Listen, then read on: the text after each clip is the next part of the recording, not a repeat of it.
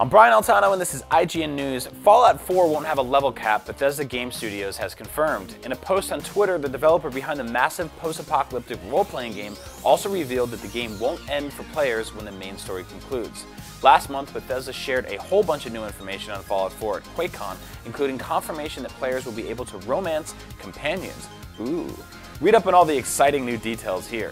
Fallout 4 is slated for release on November 10th, 2015 for Xbox One, PS4, and PC. While you patiently wait for launch day, check out IGN's ranking of the entire series.